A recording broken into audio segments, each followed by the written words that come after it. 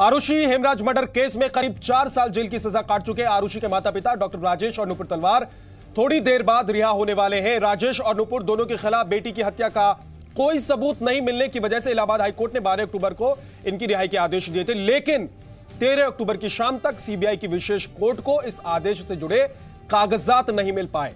अगले दिन शुक्रवार को जिस बेंच ने फैसला दिया था, आज सभी कागज़ी कार्रवाई पूरी होने की उम्मीद है। उस बेंच के सामने कागज़ रख दिए जाएँगे, जो दस्तावेज़ है वो रख दिए जाएँगे, जिसके बाद आरुषि के माता पिता राजेश और नुपुर तलवार गाजियाबाद की डासना जेल से रिहा हो जाएँगे, क्योंकि वो कॉपी पहुँच जाएगी जेल तक और उसके बाद जेलर उनको रिहा कर देंगे। लेकिन सबसे बड़ा सवाल अभी तक बना हुआ है कि आरुषि का कातिल कहाँ है? आरुषि का कातिल नहीं मिला है अभी तक, इसीलिए हम कह रहे हैं कि आरुषि को इंसाफ कब मिलेगा? इस बड़ी खबर पर जी न्यूज़ की बड़ी कवरेज लगातार जारी है। इसके हर पहलू की जाँच के लिए, खबर के लिए जी न्यूज़ के रिपोर्टर लगातार आप तक पहुँच रहे हैं और जी न्यूज़ पर एक्सपर्ट का पैनल भी मौजूद है, जो कानूनी कार्रवाई और इसकी तफ्तीश के बारे में बात करने के लिए मौजूद है। इस केस में अब सीबीआई का अगला कदम क्या होगा? पूरी खबर पर सबसे बड़ी कवरेज जी न्यूज़ पर जारी रहेगी। दो दिनों के कोर्ट के अवकाश के बाद जो है आज कोर्ट खुला है। तो इस बात की पूरी संभावना है कि आज आफ्टरनून में तलवार दंपति की जो है रिहाई जेल से हो जाएगी। इस बात की पूरी संभावना है। सर डीएम साहब को कुछ बोला देखिए जिस बात तरह देखिए जो है हाँ। यहाँ पर जिस तरह का आप लोगों का जमावड़ा है और यहाँ पर भीड़ भाड़ है, उसको देखते हुए जो है सुरक्षा के अनुरोध प्रशासन से किया गया है और उनको पूरी सुरक्षा जो है यहाँ से तो सीधे सबसे पहले आपको हम लेकर चलते हैं सीबीआई कोर्ट के बाहर, जहाँ पर मेरे सहयोगी अमित प्रकाश मौजूद हैं। अमित, क्या खबर है वहाँ से? क्या वकील पहुँच गए हैं? और जिस कोर्ट के सामने कागजात रखने हैं उसको रखने की प्रक्रिया शुरू हो चुकी है। देखिए विद्या, इस वक्त सीधी तस्वीरें मैं आपको उस जगह की दिखाऊँगा।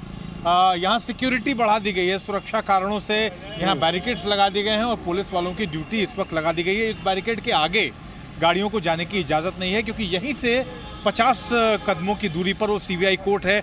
वकील से बात हुई और वकील जो हैं इस केस से जुड़े उनका साफ़ तौर पे ये कहना था कि 10 से सवा दस के बीच में वो कोर्ट के अंदर पहुँचेंगे और उसका सब लोग इंतज़ार कर रहे हैं, तमाम रिपोर्टर्स भी यहाँ पर हैं।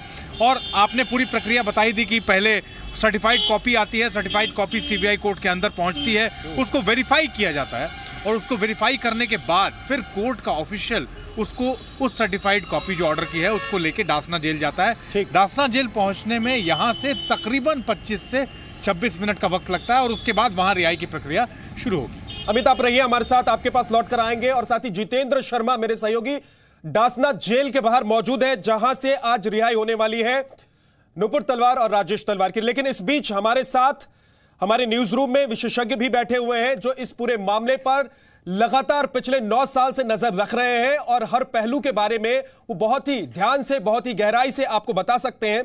और साथ ही हम इस बात का तलाश करने की भी कोशिश करेंगे, इस बारे में भी जानने की कोशिश करेंगे कि अब आगे क्या हो सकता है। मेरे साथ संजीव देशवाल हैं, डिटेक्टिव हैं, जो उस एल थर्टी टू फ्लैट तक भी पहुँच चुके हैं और कई बार जा चुके हैं, जहाँ पर आरुषि का मर्डर हुआ था। वीसी शर्मा है, फॉरेंसिक एक्सपर्ट है हमारे साथ। सी पॉल सिंह साहब हैं, फॉर्मर आईजी पंजाब के।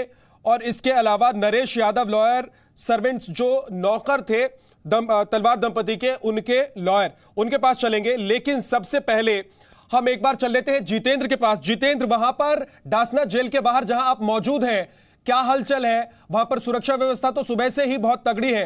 कितनी देर में कॉपी पहुंचेगी और उसके बाद वहाँ पर प्रक्रिया क्या होनी है?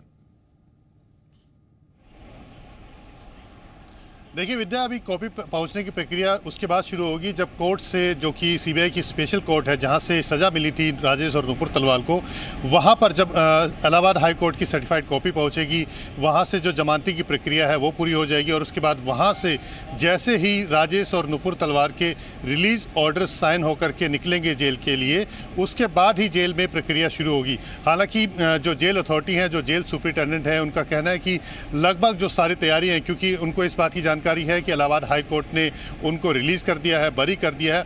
लिहाजा जो प्रक्रिया होती है जिसमें उनका सामान की, बांधना होता है या उनका जो अब तक जेल में रहे करीब तीन साल, दस महीने उन्होंने जेल में काटे हैं और इस दौरान जो उन्होंने काम किया है, क्योंकि दोनों डॉक्टर्स हैं, यहाँ पर मेडिकल फैसिलिटीज़ यहाँ पर बाकी कैदियों को देते थे, उनका इलाज करते थे तो उस हिसाब से करीब करीब पचास हज़ार रुपये उन्होंने अर्न किया है।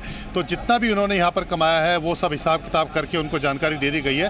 हालाँकि दोनों ने ही, राजेश और नुपुर तलवार ने कहा है कि जो भी उनका सामान है जो भी पैसा उन्होंने यहाँ से कमाया है वो सब यहाँ पर जो बाकी जो बंदी हैं जो कैदी हैं उनको बांट दिया जाए जो उनका सामान है यहीं पर जेल के अंदर रखा जाए बुक्स हैं वो जेल की लाइब्रेरी में रखी जाए। तो जो यहाँ पर जो तैयारी हो सकती है वो जानकारी के हिसाब से पूरी कर ली गई है। जैसे ही रिलीज़ ऑर्डर यहाँ पर पहुँचेंगे उसके बाद जो फॉर्मेलिटीज है पूरी करके उनको जल्द से जल्द यहाँ से रिहा कर दिया जाएगा। तो मान सकते हैं कि दोपहर बाद ये जो कार्रवाई है क्योंकि अश्विनी गुप्ता वहाँ पर मौजूद है और साथ ही मैं बता दूँ कि स्टूडियो में हमारे साथ रणबीर सिंह साहब भी मौजूद हैं। फॉर्मर आईजी हरियाणा पुलिस के, उनसे भी बात करेंगे, लेकिन सबसे पहले अश्विनी, ये बताइए कि हौज खास में जहाँ पर नुपुर तलवार और राजेश तलवार आज पहुँचने वाले हैं, वहाँ पर क्या हो रहा है? क्या इनके पहुँचने से पहले किसी तरह की वहाँ पर इनके आने की तैयारी हो रही है? क्या लोग इंतज़ार कर रहे हैं परिवार के? और क्या बातें हो रही हैं परिवार में?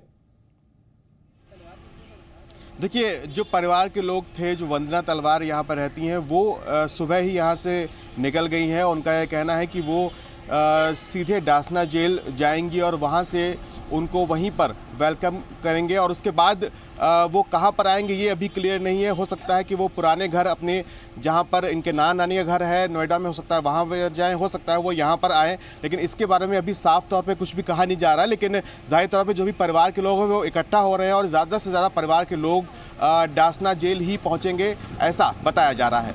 ठीक है, अश्विनी, आप हमारे साथ रहिए, लेकिन क्योंकि हमारे साथ एक्सपर्ट्स मौजूद हैं स्टूडियो में, क्या सी पॉल साहब ये मान लें कि आज जब नुपुर तलवार और राजेश तलवार की रिहाई हो जाएगी डासना जेल से, उसके बाद आरुषि का केस क्लोज हो जाएगा, या फिर यह समझें कि जब पति पत्नी बाहर आएँगे तो जो काम जेल में रहकर नहीं कर पाए थे अपनी बेटी के लिए, वो बाहर रहकर कर पाएँगे। इंटेंशन आपको समझ में आ रहा है क्या? इसमें देखिए, जहाँ तक रहा होने के बाद क्या एक्शन सीबीआई लेगी इसके दो पहलू हैं। पहला पहलू तो ये है कि क्योंकि कोई एविडेंस प्रूव नहीं हुई बिल्कुल और उनके सामने इससे एविडेंस फ़ूड प्रूफ एविडेंस नहीं आई, जिससे उनको कन्विक्ट किया जा सकता है, हो सकता है इस केस के ख़िलाफ़ अपील ना करें। दूसरा पहलू है कि जस्टिफाई करने के, उनको पक्का अपना ख्याल था कि यही एक्यूज़ है।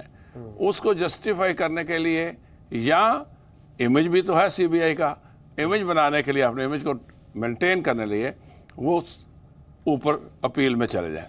और अपील में जाने के लिए मैं ये समझता हूँ कि पहले जो गलती की इस दफ़ा नहीं करेंगे। क्योंकि इसमें एक तो डेफिनेट ऑफेंस बन जाती थी डिस्ट्रॉइंग ऑफ़ एविडेंस जी। उसमें तो कोई डाउट है ही नहीं। ठीक। क्योंकि उसकी बॉडी को किसने क्लीन किया?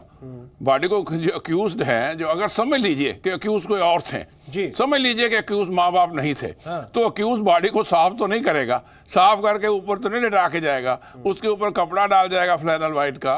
उसके ऊपर सैचल डाली जाएगी उसके बैग डाला जाएगा आँखों के ऊपर।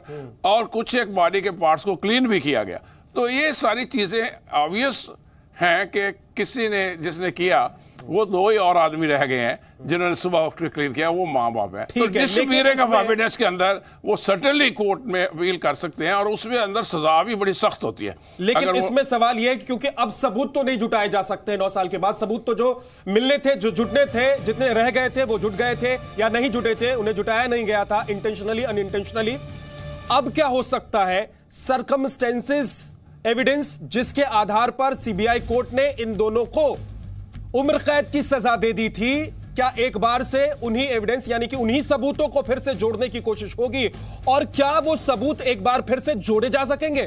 एक बहुत छोटे से ब्रेक के लिए हम रुक रहे हैं, लेकिन ब्रेक के उस पार हमारे साथ जो विशेषज्ञ मौजूद हैं, उनसे इस सवाल का जवाब हम जानने की कोशिश करेंगे और साथ ही आपको बता दें, हमारी नज़र सीबीआई की स्पेशल कोर्ट पर भी है, जहाँ पर मेरे साथ अमित मौजूद है, मेरे सहयोगी अमित प्रकाश। इसके अलावा डासना जेल पर जितेंद्र मौजूद है, मेरे सहयोगी। और हौज खास जहाँ पर तलवार दंपति जाने वाले हैं, जेल से रिहा होने के बाद, वहाँ पर अश्विनी गुप्ता की नज़र है। तलवार दंपति आज डासना जेल से रिहा हो रहे थोड़ी देर में उनके वकील सीबीआई कोर्ट पहुँच जाएँगे। राजेश नुपुर तलवार के वकील थोड़ी ही देर में सीबीआई के कोर्ट पहुँचने वाले हैं, जहाँ पर वो दस्तावेज़ रखेंगे और उसके बाद ये जो दस्तावेज़ है, वो जेल तक पहुँचने के बाद जेलर इसे देखने, देखेंगे और देखने के बाद इन दोनों की रिहाई हो जाएगी। सीबीआई कोर्ट में पहले इसे सत्यापित किया जाएगा और उसके बाद ये कॉपी जो होगी, जो रिहाई की कॉपी, कोर्ट का जो आदेश होता है, वो जेल तक पहुँचता है और वही प्रक्रिया शुक्रवार तक नहीं हो पाई, इसलिए शनिवार और रविवार को भी रिहाई नहीं हो पाई, क्योंकि इन दो दिनों में छुट्टी होता है, अवकाश होता है तो ये टल गया आज तक के लिए। तो आज नुपुर तलवार और राजेश तलवार डासना जेल से रिहा हो जाएँगे। मेरे साथ मेरे तमाम सहयोगी मौजूद हैं। सबसे पहले एक बार पवन नारा को रुख कर लेते हैं। पवन, जलवायु बिहार में क्या खबर है, ये आपसे जानेंगे। लेकिन एक बहुत छोटे से ब्रेक के लिए हम रुक रहे हैं, लेकिन साथ में चलते चलते आपको यह भी बता देते हैं कि हमारे साथ तमाम एक्सपर्ट मौजूद हैं, क्योंकि हम ये जानना चाहते हैं पूरा देश ये जानना चाहता है कि आखिर आरुषि और हिमराज का मर्डरर है कौन? किसने कत्ल किया? आरुषि की माँ कह रही है कि वो जेल से जब बाहर निकलेंगी तो मर्डरर को ढूंढेंगी। तो सवाल यह भी है कि क्या वो मर्डर को जानती है?